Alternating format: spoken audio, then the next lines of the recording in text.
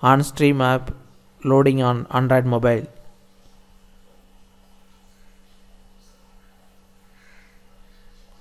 OnStream couldn't load, error occurs. OnStream APK is not working, here are a few possible causes. Outdated version, compatibility issues, network connection problem, server issues, bugs or glitches.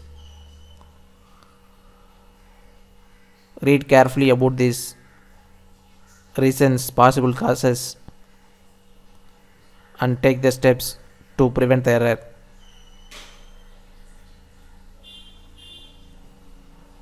If you continue to experience issues with the OnStream APK, it is recommended to reach out to the app's developer or support team for assistance. Subscribe.